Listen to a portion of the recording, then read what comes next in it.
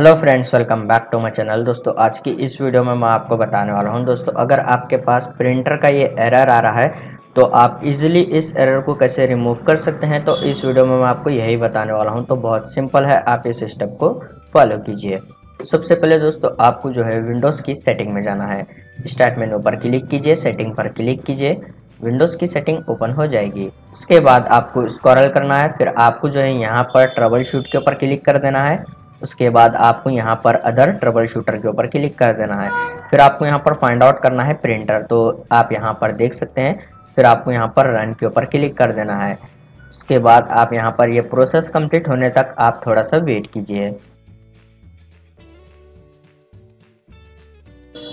तो गैस जैसे कि आप यहाँ पर देख सकते हैं प्रोसेस कंप्लीट हो गया है। उसके बाद आपको इस सेटिंग को क्लोज कर देना है।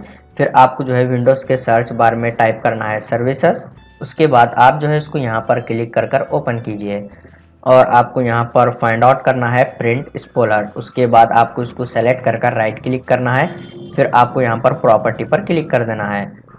उसके बाद आप यहाँ पर स्टार्टअप टाइप में इसको ऑटोमेटिक सेलेक्ट कीजिए, फिर आपको यहाँ पर अप्लाई के ऊपर क्लिक कर कर ओके कर देना है। फिर आप इस सेटिंग को क्लोज कीजिए। उसके बाद आपको जो है स्टार्ट मेन्यू के ऊपर राइट क्लिक कर कर डिवाइस मैनेजर ओपन करना है। यहाँ पर डिवाइस मैनेजर पर क्लिक कीजिए, ये ओपन हो जाएगा। फिर आपको यहाँ पर फाइंड आउट करना है प्रिंटर तो आप यहाँ पर देख सकते हैं प्रिंट क्यूज आप इसको डबल क्लिक कर कर ये ऑप्शन को एक्सटेंड कीजिए।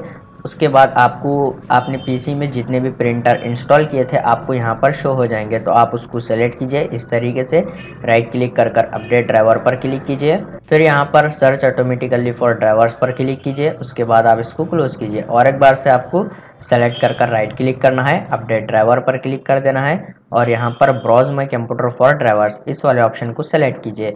उसके बाद यहाँ पर let me pick from a list इस वाले ऑप्शन को आप सेलेक्ट कीजिए। उसके बाद आपको आपका प्रिंटर यहाँ पर शो हो जाएगा। फिर आप जो है उसको सेलेक्ट कीजिए। उसके बाद नेक्स्ट के ऊपर क्लिक कीजिए। तो आपके पास यहाँ पर प्रिंटर के ड्राइवर इंस्टॉल हो जाएँगे। उसके बाद आप इसको क्लोज कीजिए। ऑल सेटिंग्स को आपको क्लोज कर देना है। उसके बाद दोस्तों आपको रन कमेंट ओपन करना है। उसके बाद आपको यहाँ पर इस तरीके से टाइप कर कर ओके के ऊपर क्लिक कर देना है।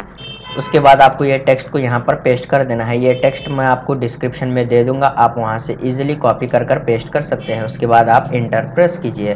फिर आपको यहाँ पर विंडोज़ के फोल्डर को सेलेक्ट कर कर राइट क्लिक करना है। और यहाँ पर परमिशन में आना है।